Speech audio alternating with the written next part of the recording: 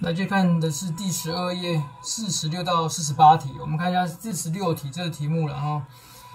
呃，有四个木块，实际上都是两公斤，放在不同水平桌面上，所以它可能有不同的摩擦力了哈。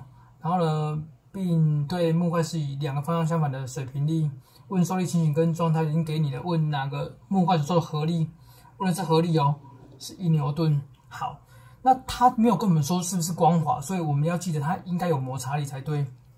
看第一个，一个向左二，一个向右一。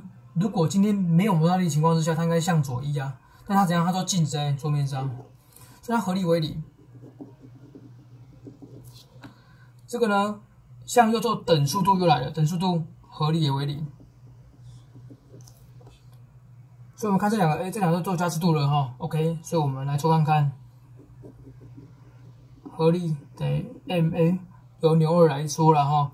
他说啊，呃，向左做加速度运动，加速度是零点五，那质量多少？两公斤。所以二乘上零点五，等于一牛顿。哎呦，这可以呢。答案选的是 C。那看猪这地方为什么不行？它向右做加速度一哦，一乘以二应该是两牛顿才对啊，所以不能选的是不能选丁啊，不能选丁。好，最后呢，这边有个阅读叙述，呃，跟大家同学讲一下，然后这个其实每一次啊。会考当中啊，这个阅读题题目都其实有点长哈，但是呃有些东西你其实可以直接看题目来讲。我们看一下，图中入射光线经反射器反射后，照在接收器上面，问法线，哎呀太简单了，法线在未来哪里？位在入射线跟反射线中间，入射反射中间就是法线嘛，所以答案就是 A。你看，所以题目都不用看，可以答答案哈。还第二个接收器的。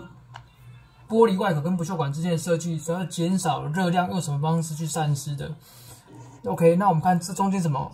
玻璃外壳跟不锈管中间是真空的，真空，真空可以传递什么？真空可以传递的是辐射哦，所以跟辐射有关的把它划掉，答案就选 A，这样就解决啦。